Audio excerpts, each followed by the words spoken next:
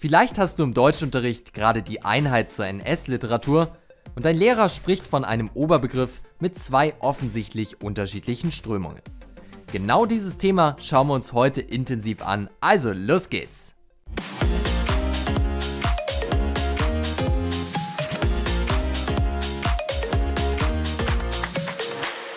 Kurz für dich zur Orientierung. Mit den zwei unterschiedlichen Strömungen werden zum einen diejenigen Autoren gemeint, die sich an die Zeit anpassen und andererseits diejenigen, die sich gegen das Regime stellten. Aber der Reihe nach.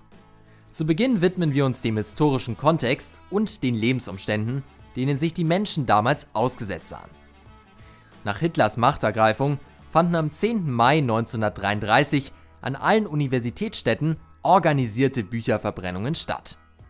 Opfer davon waren alle sogenannten unliebsamen Autoren. Dazu gehörten jüdische, pazifistische, marxistische bzw. kommunistische und andere oppositionelle Schriftsteller. So war auch Erich Kästner, den du vermutlich durch seine Kinderbücher kennst, von dieser Maßnahme betroffen. Jegliche Schriftstellerorganisationen wurden verboten und Teil der Reichsschrifttumskammer, was für eine gezieltere Gleichschaltung der Veröffentlichung sorgte. Um teilzuhaben, war ein sogenannter ARIA-Nachweis notwendig, andernfalls durfte man nicht veröffentlichen. Ein Ausschluss aus dieser Kammer bedeutete für den Schriftsteller, dass alle seine Veröffentlichungen illegal wurden. Mit der NSDAP an der Macht wurden relativ schnell alle unpassenden Schriftsteller aussortiert. Doch nicht nur der Literaturbetrieb als solcher wurde umgewandelt. Es gab auch einen Umschwung der präferierten Themen, die Schriftsteller bearbeiteten.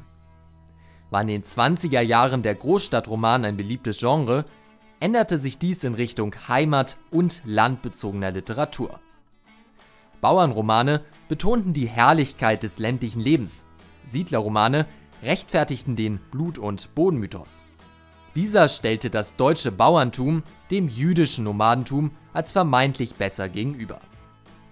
In den 20er Jahren erhielten die Frauen eine größere Bedeutung in der Gesellschaft. Doch dieser Emanzipation und Freiheit wurde ebenfalls ein Strich durch die Rechnung gemacht. Die Frauenromane der NS-Zeit glorifizierten Mütter von vielen Kindern. Nicht zu vergessen sind natürlich auch die Kriegsromane, die die Geschehnisse des Ersten Weltkriegs verherrlichen und dazu ermutigen sollten, selbst zum Soldaten zu werden. Siedlerromane hingegen thematisieren die Einwanderung Deutscher in das unbewohnte Kanada. Mit solchen Romanen sollte gezeigt werden, dass die Deutschen die ihnen gegebene Natur kontrollieren können. Ansonsten erfreuten sich historische Romane großer Beliebtheit. Dort wurde die Geschichte Preußens, der Bauernkrieg oder auch die Ostkolonisation behandelt. Ziel dieser Werke war es zu großen Teilen, auf eine Legitimation des Dritten Reichs hinzuleiten. Protagonisten waren oftmals Führerpersonen, die mit Charisma und Verstand für die Siege einer ganzen Gruppe sorgten. Wer all diese Dinge nicht schreiben wollte oder bereits in die Gruppe unliebsamer Autoren gehörte, der musste fliehen.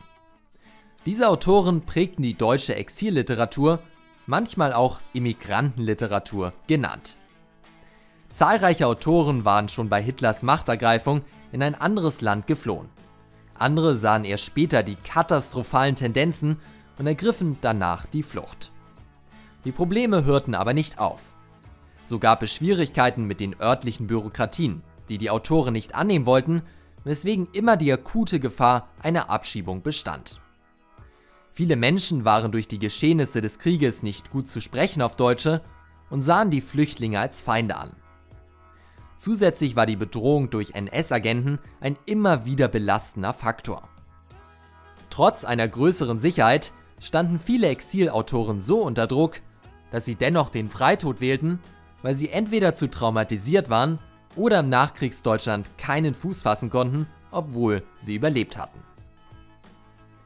Trotz allem war es möglich, als Schriftsteller in Deutschland unter gewissen Umständen zu überleben. Diese Personen waren bekannt als innere Immigranten. Der Name ergibt sich aus der Tatsache, dass diese Menschen dem Land einerseits fremd waren, ihm aber trotzdem noch angehörten. Innere Immigranten waren also Autoren, die trotz ihrer Ablehnung des Nationalsozialismus im Land geblieben sind und sich weitestgehend den vorherrschenden Bedingungen anpassten. Der Trick war hier, dass sie zwar vordergründig systemtreue Kunst verkauft haben, im Hintergrund aber oppositionelle Kunst schufen und über Untergrundkanäle verkauften. Eine andere Methode war das beredte Schweigen.